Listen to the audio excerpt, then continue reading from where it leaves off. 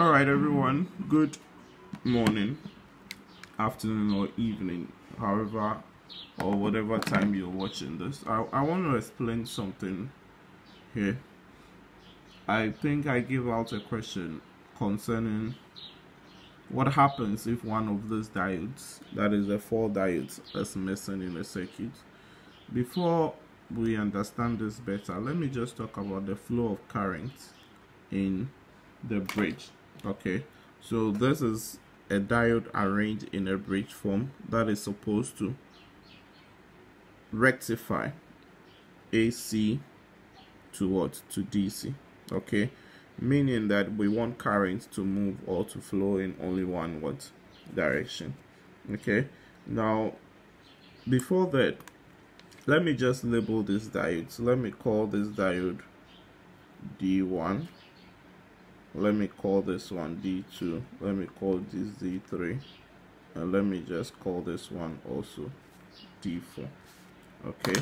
Now one thing that i want us to take note of is that when i come here you know alternating current is a current that moves repeatedly and alternates. That is at one side or at one half it is positive here and at the other half it's negative here so let's say current is moving in this direction and current is moving also in this direction. So for one half current goes up and for another half current comes down.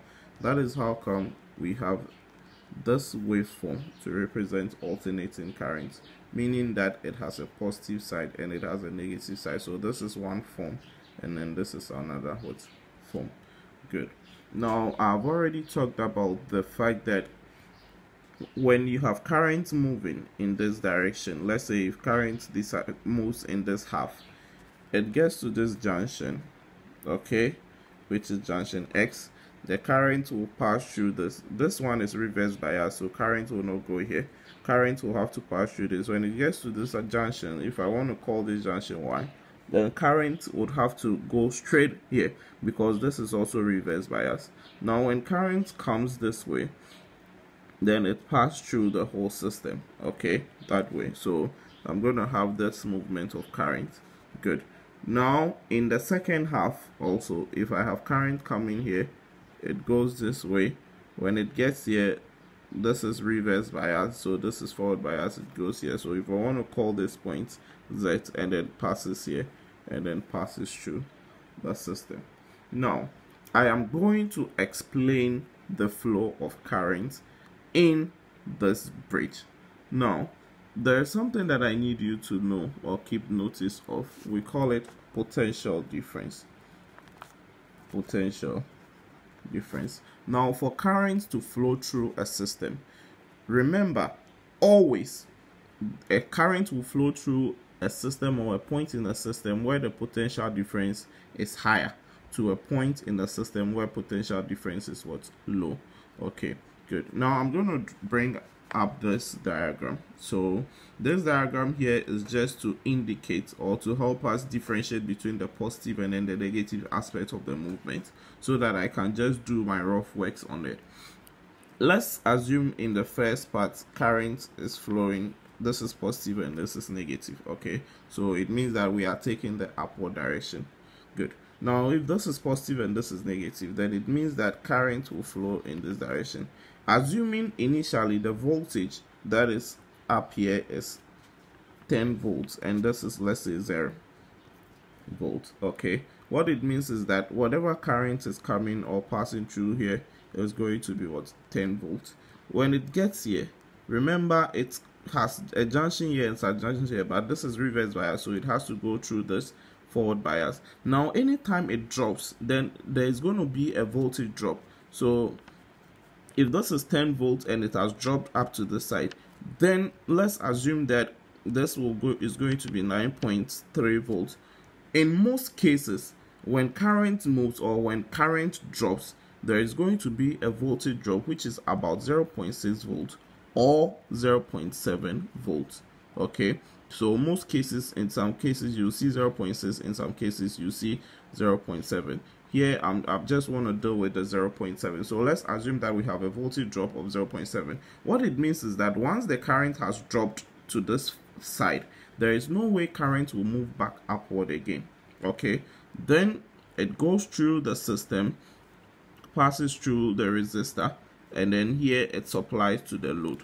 But it goes through the whole network again. So you have current flowing through the system. Now if it gets to this junction remember at this junction there is this direction and there is this direction. It can go here it can go here. But if you look at this point we have already talked about the fact that current is supposed to move from a high potential to a low potential. At this point the potential difference upward is bigger than the potential difference here but the potential difference here is less as compared to the potential difference here and therefore the current will choose to move rather in this direction and then come here and pass through this and then goes here. So in our positive aspect of the movement this is how the current moves okay? So you have current coming here passing through here going here passing through the resistor coming here passing this way. When it gets here it goes here because of the voltage difference and because this side has a low potential and this side has what? A high potential okay? Then it passes through the system. And then the next half. So for our next half also let me just quickly explain this. Here this is positive and this is what? Negative. It means then again that this is our 10 volts and this is our 0 volt. So it starts from here. Now once it starts from here then the current is going this way. When it gets here it has to rise up to this side because this is reverse bias. Immediately current rise up to the side. It means there has been that 0.7 volt drop.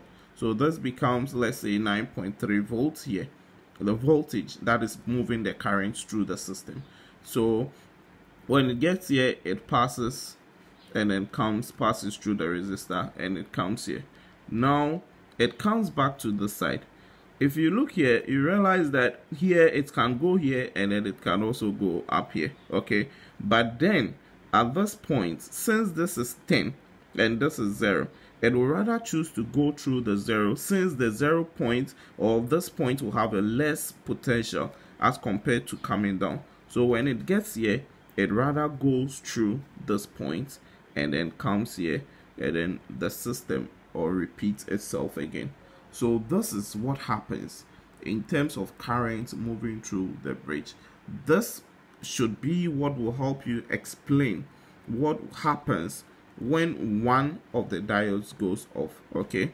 Now the waveform is for the positive aspect so it means that the positive aspect we're going to have this positive waveform and then for the negative aspect we are going to have this waveform for input anyway. But when you combine both positive and negative then you're going to have this for the input okay? Now the output waveform since we are allowing current to move in one direction then the output waveform is going to be this way for both positive and negative positive and negative positive and negative. So this is how the output waveform is going to be. Now once one of the diodes goes off it means that one cycle will be cut off completely. From the explanations that I've given to you, you'd realize that for each half, current will have to move or pass through two diodes. So for this one, for the first half, the positive half, current is passing through this particular diode, which is labeled D2, before current goes here and comes to pass through this particular diode, which is labeled D4. So current pass through D2 and D4. And then for the negative half, current is passing through this diode which is labeled D3 and then comes back to pass through this particular diode which is labeled D1 so here I have D1 and then D3 and then here I have D2 and D4 so it means what it means is that without one diode then one cycle will not be possible. And therefore if one cycle is not possible is either in our output system would have this ones all going away. So that you have just this a break here this a break here this. Or you can have the positive ones all going away. Then you have only the negative ones working. So that will be the waveform you are going to get. Thank you very much. I hope this helps explain a lot of things to you. Especially take note of what happens with the movement of current in the system and also the voltage drop. I've said that once there is a movement of current then there is going to be a drop in voltage which is mostly 0.6 or 0.7 volt. But for us let us choose our 0.7 i explained this because you're not going to be having or you're not going to be having questions like this in your exams WASSCE exams. If there's going to be a question like this then it's going to come for those of you who do science and math quiz and all that but i just wanted to explain the fact that there is the movement of this current with or between two diodes all the time. And then the reasons why the current passes through certain diodes and not the other diodes.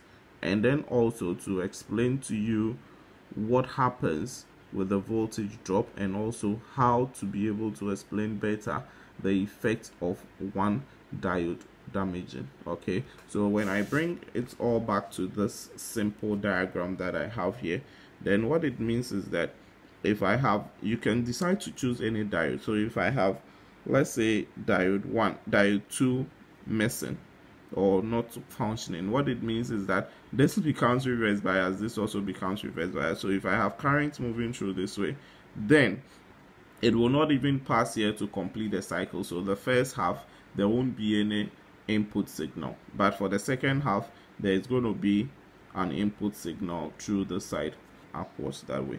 Okay?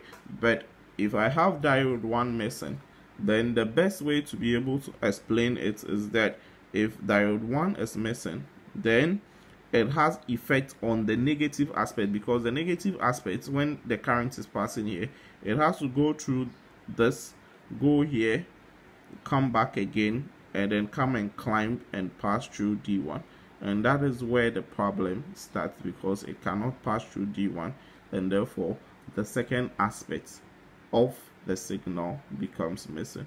Okay? Thank you very much. Have a wonderful day